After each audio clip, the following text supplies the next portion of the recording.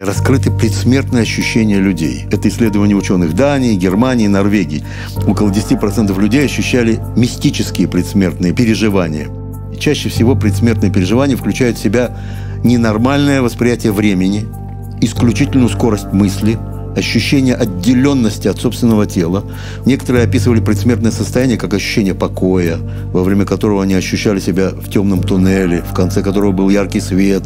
Другие говорили, что ощущали рядом присутствие другого человека.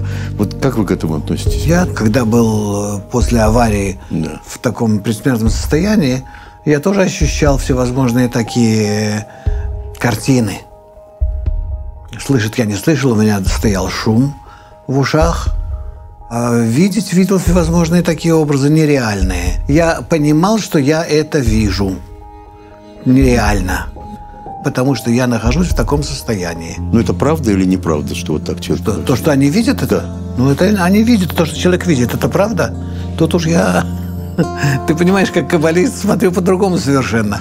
То, что мы видим сейчас, это тоже неправда. Это тоже надуманный мир, призрачный мир. Так что где же это правда? Это все во мне отражается, ничего этого вне меня нет. Это то, что я представляю себе.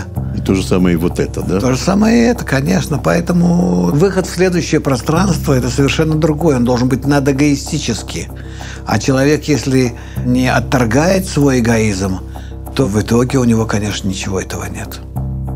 У него всевозможные такие надуманные представления – о будущем мире. Может быть, ему кажется, что это будущий мир.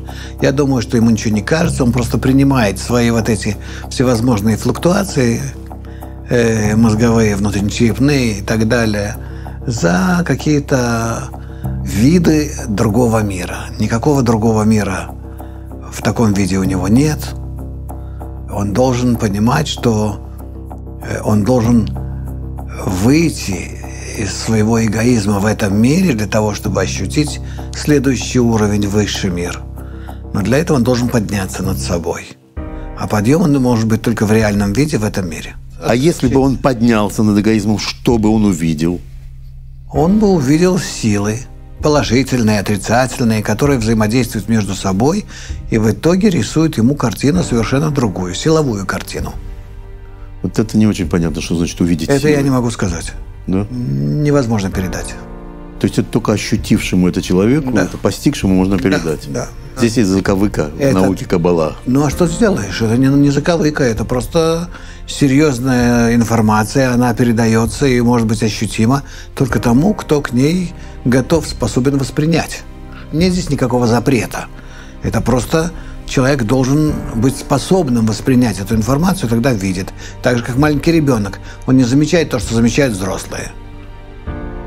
То есть, когда говорят «тайная наука Каббала», говорят не о тайной науке, а говорят о том, что я пока это не вижу. Да. Вот только это Поэтому она называется тайной. Вот да. только вот такое простое только. объяснение. Коды, тайны, все. Все раскрывается только в мере твоей возможности постичь. Мы находимся, к сожалению, в состоянии, когда Ничего нельзя объяснить, только если ты хочешь, если тебя гложет стремление к постижению, тогда ты сможешь это преодолеть. Что же все время вы без устали тогда пытаетесь объяснить? Вот скажите мне, пожалуйста, снимаете, Я пытаюсь... пишете, что, что? Ну, насколько можно раскрыть людям хоть чуть-чуть возможность видеть путь к этому.